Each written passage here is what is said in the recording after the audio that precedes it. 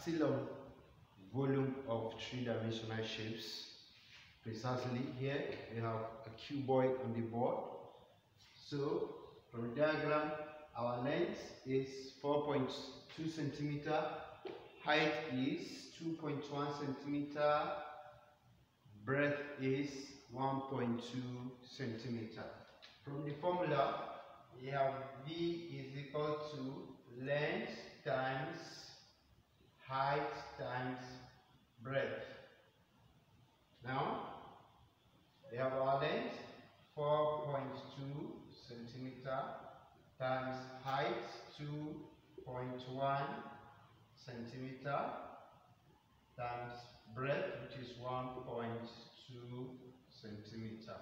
Now we're going to take two at a time. This and this. Now if you look carefully, this is one in one decimal place because there is a just a single number after decimal point. Likewise, this one too is in one decimal place. So altogether we are having two decimal places. When we multiply these numbers, whatever answer we're going to get is going to be in two decimal places. So we are going to multiply these two numbers ignoring the decimal points. Like this, 4, 2, 1, 4, 2, and 2 and 1. That is 1 times 2 is 2, 1 times 4, 4, 2 times 2 is 4, 2 times 4 is 8. So you are going to add. So this is our answer. Remember, we are going to have two decimal places. 1 and 1 plus 1 is 2. So we count two numbers backward.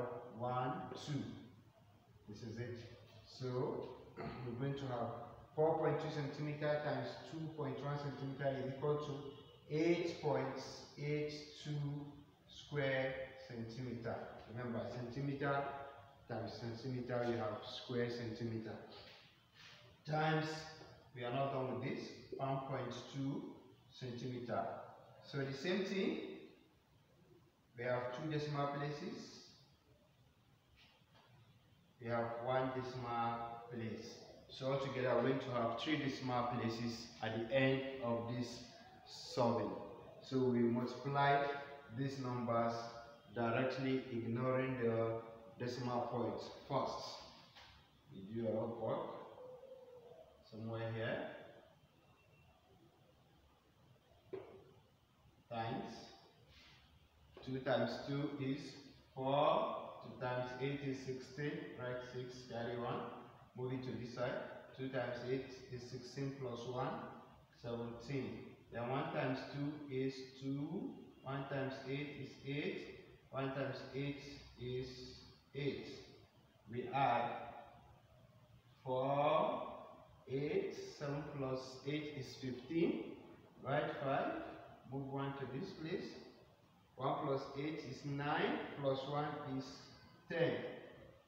So, we're going to have 1, 0, 5, 8, 4 cubic centimeter. Remember, our final answer is supposed to be in three decimal places. So we'll count three numbers backward. One, two, three.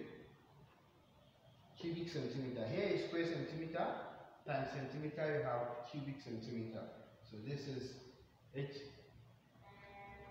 Thank you.